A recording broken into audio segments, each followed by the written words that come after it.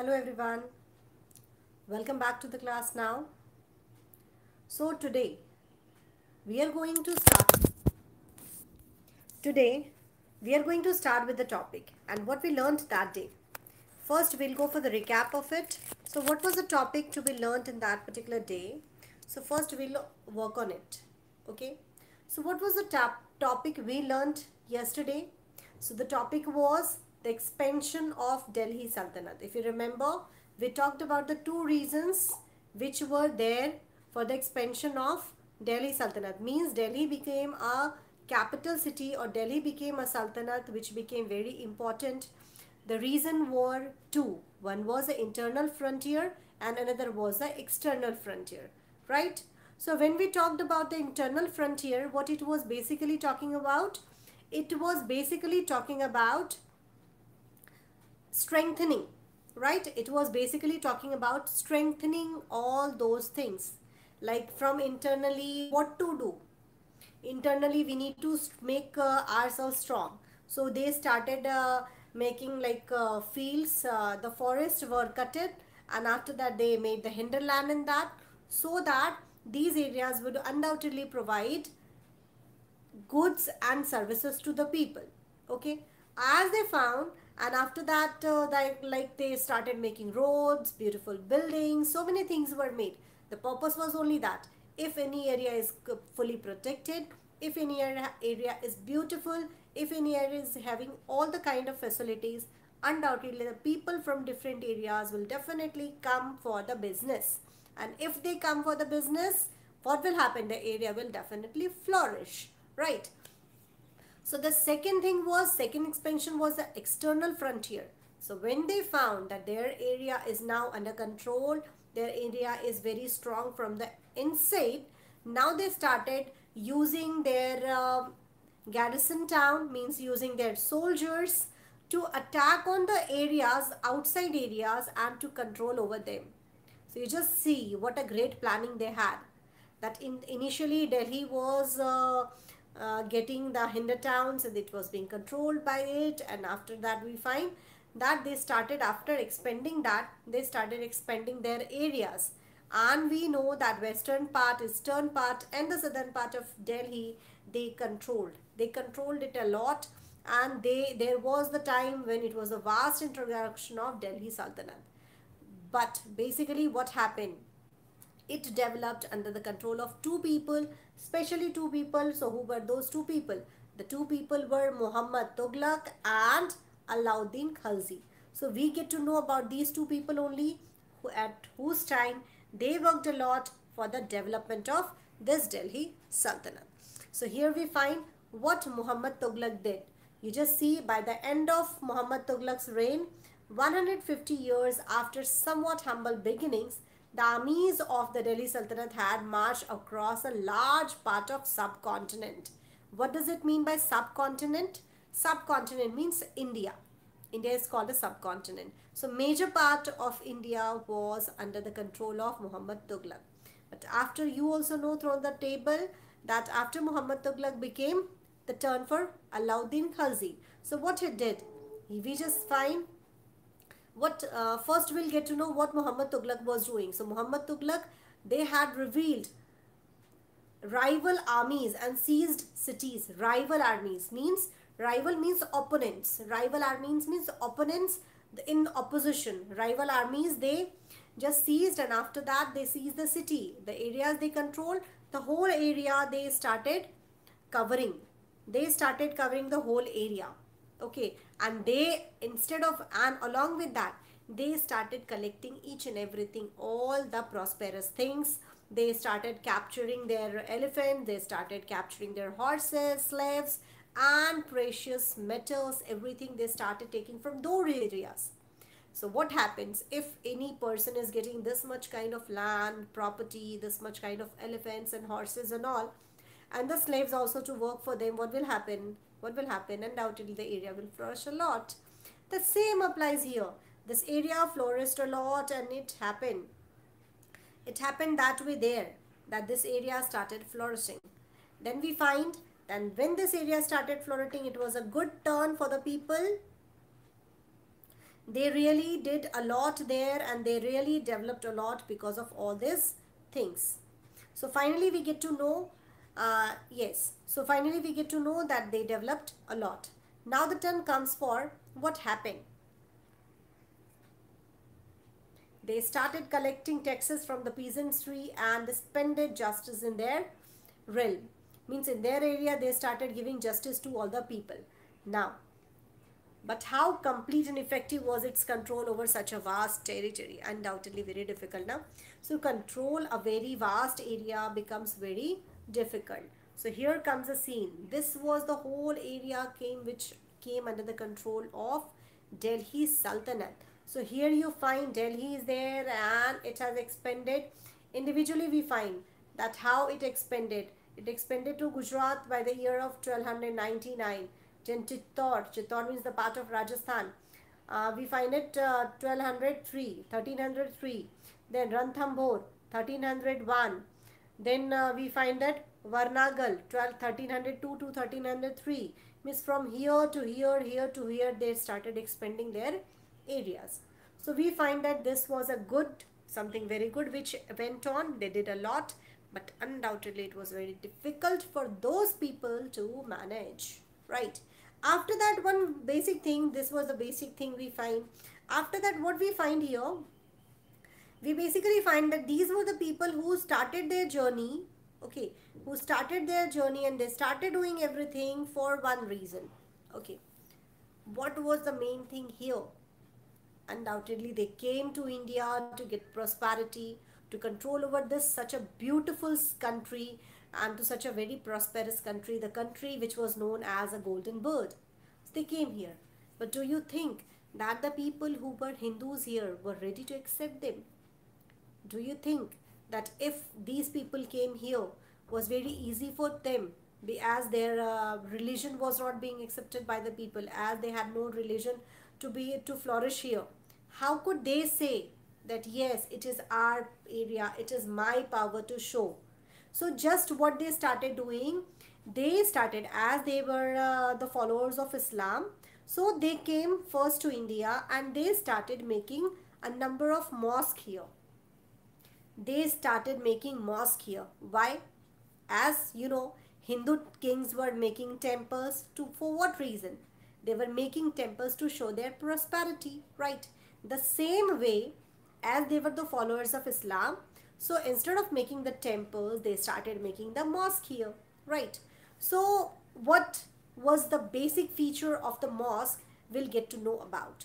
So if we talk about one mosque here, if you just go for this figure, figure 2 point, figure 2. So what you find here, in this figure we found that Delhi, okay, in this Delhi a Kunha, Kuhna.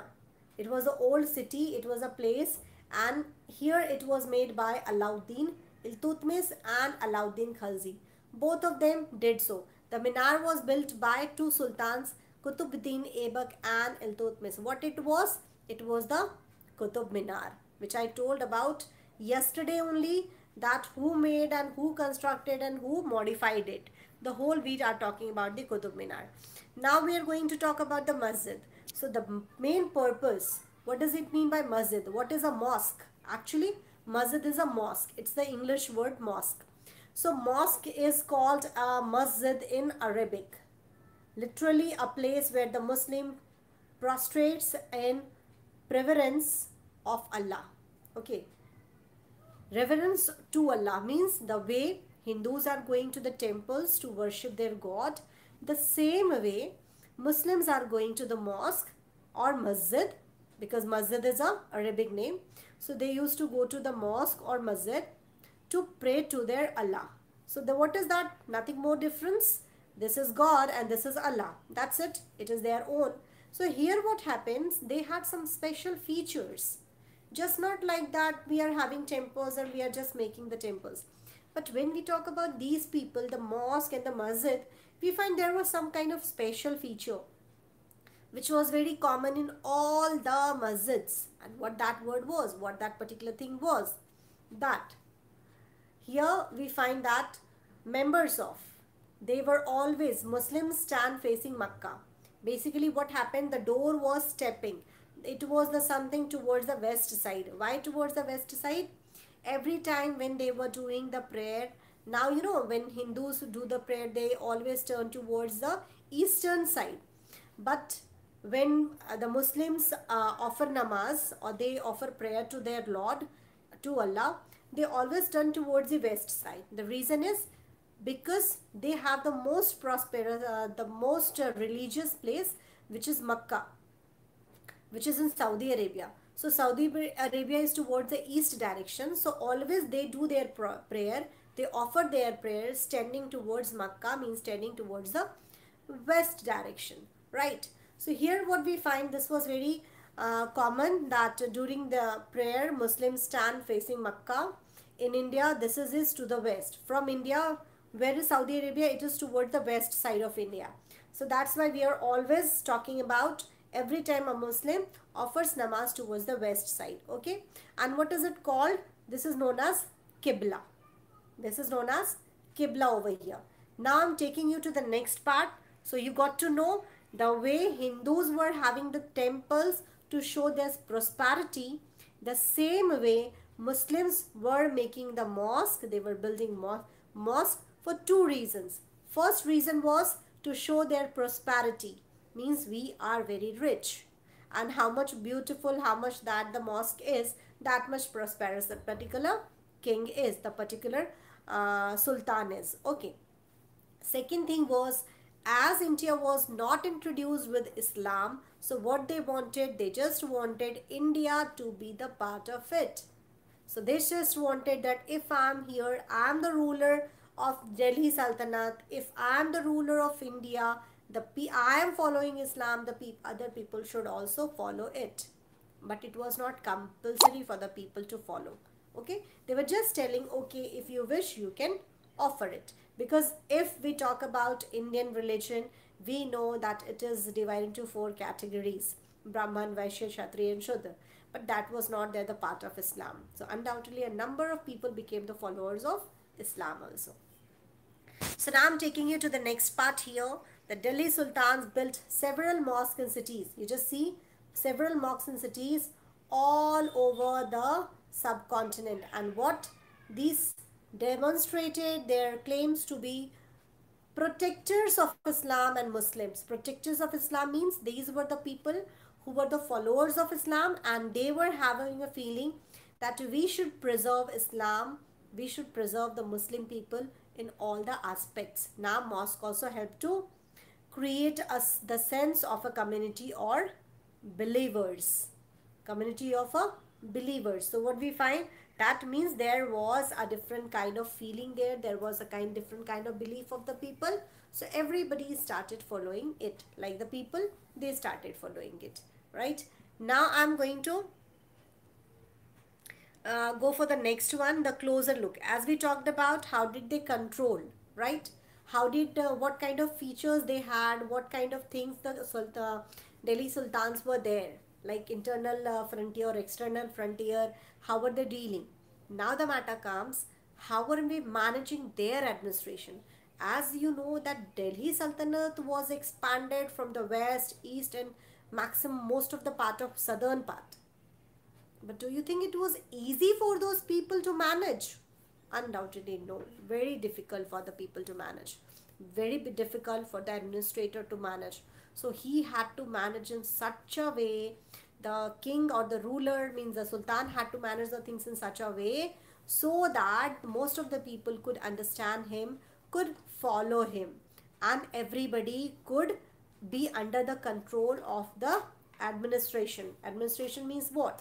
The way of working of the sultan so when we talk about this, we basically know that uh, what happens here.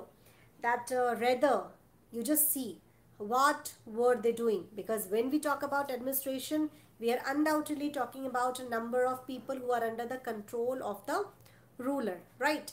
So when we talk about the control over the ruler, the king is uh, like if we are having a government now. So we are having a number of ministers, we are having a number of employees who work under it the same applies here. When we talk about administration. What happens? who are the people appointed as uh, working committee as under the working committee of the governor as the working committee of uh, the sultan? Okay so what happens? They focused on a number of things. So what were the points? They focused on what were the things. So what they focused on so rather generally what happens to whomever we trust to whomever we find the person is most eligible we used to select that person right? But here what happened these uh, people what they started doing that rather than appointing aristocrats and landed chieftains as governor because if a very big area is there they are in need of a governor who will work for them right? They are in need of a governor who will work for them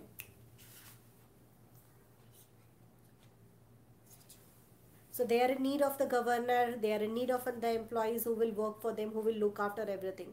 So they could appoint the uh, aristocrats means the people who are his followers. They could uh, uh, make the chieftains means the officers to be the governor of them. But they didn't do so right? Iltutmish didn't do so. What he did? He chose instead of using the chieftains and the aristocrats what he did? He just chose his special slaves favored their special purchased for military service. He had purchased a number of people because uh, what happens what are the slaves? The people in the military campaign if any area is being defeated so the soldiers comes under the soldiers come under the uh, under the uh, winning committee like under the winning uh, country or under the winning area. Or rest of the part uh, like uh, they are the slaves called a person a slave is always treated very badly. But here what happened but one thing is very, very important very good about the slaves that they are very much helpful and they are very much faithful to their ruler. So Iltutmish, when we talk about Iltutmish, we get to know that Iltutmish was really a great ruler. And what he did, he appointed, he had uh, purchased a number of slaves and who were living with him. So it was the purchasing, really, let me tell you, it was the purchasing of the people.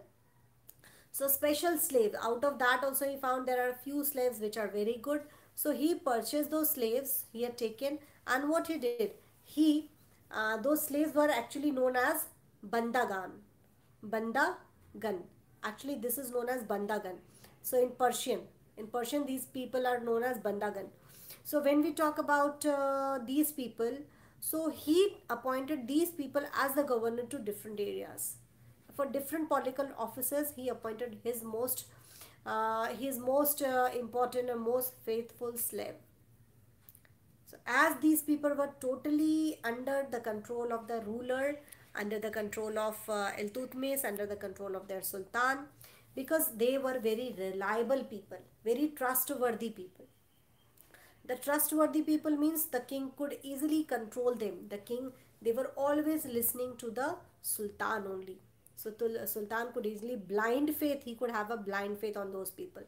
But as we know, if these people were there, they undoubtedly flourished. They undoubtedly helped the kingdom undoubtedly helped the Sultan to go ahead and ahead and ahead. But there are a number of drawbacks also. What is the benefit? First, we'll talk about the benefit. So, as these people are the trustworthy people, they can do everything for the Sultan. So, undoubtedly, what will happen? The kingdom will raise a lot, right? But there are also the drawbacks. Sometimes, maybe the people are very trustworthy, but these people are trustworthy only to their ruler only to their malik, to their master, but never to their children. So till the time Iltutmish was the ruler, they all uh, just followed him. But after Iltutmish, his daughter became the ruler, which was Razia Sultan. They didn't follow her. Means basically what happens, they were not faithful to their heirs. Me, Like means their children. So that was a drawback. Okay. Now, you just see slaves rather than sons. Slaves, you just see that if you appoint your son, what will happen? If you want to appoint your slave as governor, what happens?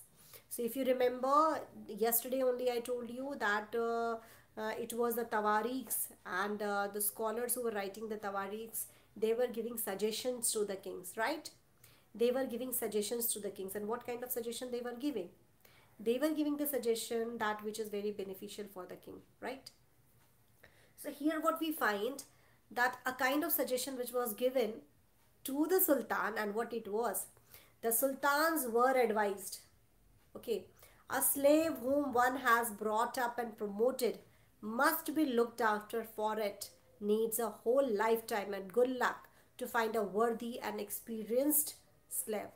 Wise men have said that a worthy and experienced slave is better than a son. Just imagine a comparison of a slave and the slave means servant. Okay, a slave and the son. So it is better to have an experienced slave with you instead of appointing your son as the head of it. So this was the kind of suggestion which was given by these kind of people and undoubtedly it was very clear.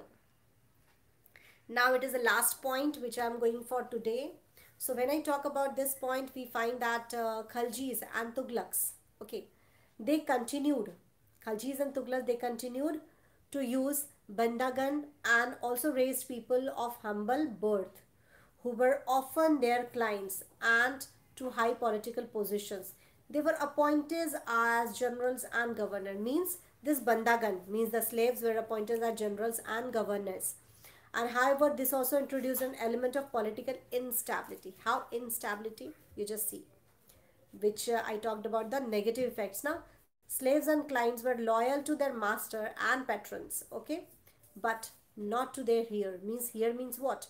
They were not uh, acceptable to their servants like sorry to their sons and next generation now sultans had their own servants as a result the occasion of the accession of a new merchant uh, sorry monarch often saw conflict between the old and the new nobility. No mobility means the old one is telling no my slaves are good. The new one says i don't want your slaves. You take your slaves with you.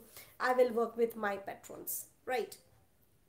So the patronage, patronage means the right of these humble people by the Delhi Sultans also shocked many elites and author of Persian Tawarikh criticized the Delhi Sultan for appointing the low and base born to high officers. Means what happens when somebody is appointing the slaves, maybe some uh, slaves are very qualified. But if any slave is undoubtedly very much uh, honest and very much trustworthy but if the person is not qualified do you think the person uh, that particular slave is going to help it? So that was also the time that they were very much criticized. Means one person said that you must have the slaves with you. You must have the slaves with you and they are better than your son but there are also some cases that if the slave is not good if the slave is not experienced so better than that don't keep anybody so here we find next thing officials of Sultan Muhammad Tughlaq. So here just see who were the officials of Muhammad Tughlaq. Officials means the staff members. So official means the governors appointed. Official means different department, the head of the different departments. So here just see Muhammad Tughlaq appointed Aziz Khummar, a wine distiller. Then Firoz Hajjam as a barber. Manka Tabbakh, as a cook and two gardeners, Ladha and Pira, to high administrative post. Now you just see a person who is a slave. Do you think this person is going to work? A person who is a cook, a person who is a gardener, a person who is a barber. Undoubtedly, the person is very much close and very much trustworthy. Do you think these people are having those kind of qualifications who could work for him? Undoubtedly, no and never. So here, Ziauddin Barni, Ziauddin Barni, a 14th, a mid 14th century chronicler, reported their appointment as a sign of the Sultan's loss of political judgment and his incapability of to rule. Undoubtedly, if any ruler is appointing these kind of people who are least experienced, what will happen? It is just called as ruin the whole rule. It is not going to work. Right. So for now i'm just ending the session and you just understand what i have taught you. So i'm just going for the recap. We talked about the tarikhs and tawarikhs when we then we talk about uh, the expansion of delhi sultanate means um, garrison town and we talked about uh, this um, what was that? Uh, garrison town and hinterland uh, then we talked about internal frontier and external frontier. After that we got to know about who were the people how were these uh, like tughlaqs and khalji appointed their governors. They appointed their slavs as their governors and what are the benefits and what are the drawbacks of all that. So for now i'm just ending up the session you just get to know that these things are very much clear to you okay? And uh, tomorrow and uh, day after means on monday we'll meet again at the same time and we'll talk about this matter. Fine and to uh, that day will be the end of that chapter. Fine thank you so much and take care